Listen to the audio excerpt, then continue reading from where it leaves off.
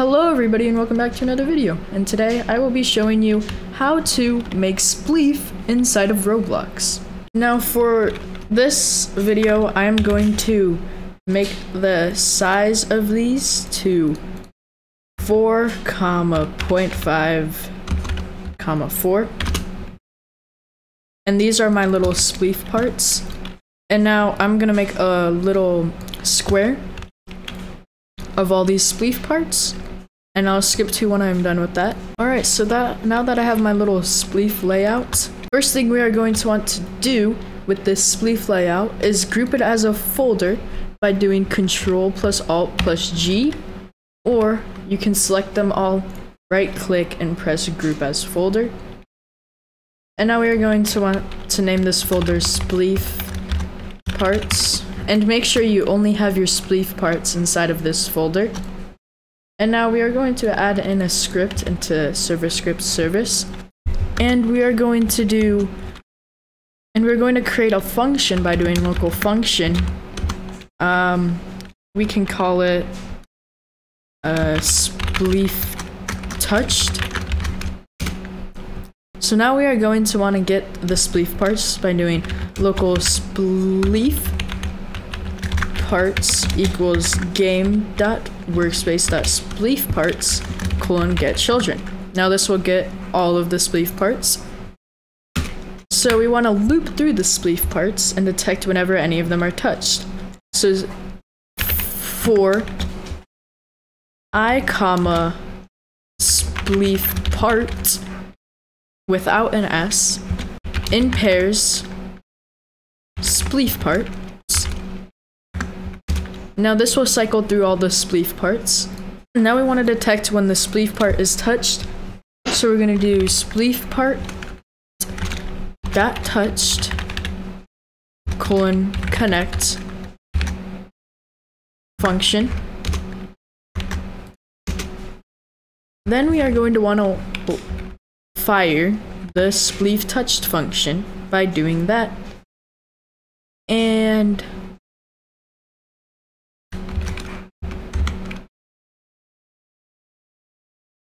And now we are going to want to know what spleef part it is. So we're just going to put spleef part right here and spleef part right here. So we only want to run this function if it's a player that's touching it. So we want to get the hit and then local humanoid equals hit dot parent colon find first child humanoid and now if there is a humanoid, so we're going to do if humanoid, then we are going to want to run this function. In that function, we are going to want to slowly make the part transparent. So we are going to do local tween service equals game colon get colon get service tween service and we are going to want to create a new tween. So tween service colon create. And we are going to want to tween the spleef part. And we're going to want to create a new tween info.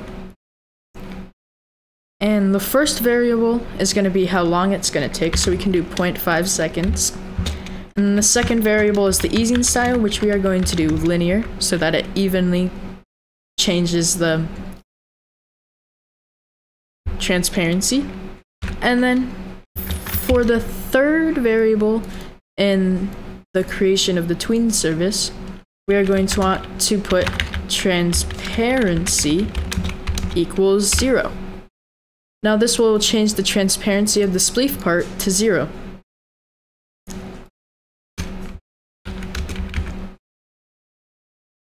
And we are going to want to play this tween, so we're going to add colon play to the end. And then we want to wait the 0.5, or we're going to want to wait 0.5 so that we can make the part can collide to false once the tween's done. So spleef part dot can collide equals false. Alright, and then the last thing we are going to want to do is change the transparency to 1, not 0. And now if we test this out, if we go over to these parts and jump on them, their transparency will slowly fade away. And now there is no way of them coming back, which we are going to want that to happen. So, let's add in a new function. Local function regenerate spleef part. And we are going to want to know what spleef part it is. And we're going to want to fire that after, let's go with five seconds. So let's fire regenerate spleef part. And then inside of this, we are going to pretty much reset the spleef part. So let's copy this code right here. And then we're going to want to set can collide to true. And we're going to want to fade the transparency to zero.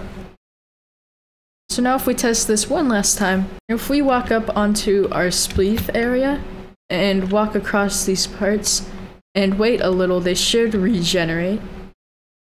And as you can see, they're regenerating after a certain amount of time. So yeah, I hope you guys enjoyed. Make sure to like and subscribe, and I'll see you in the next one. Bye.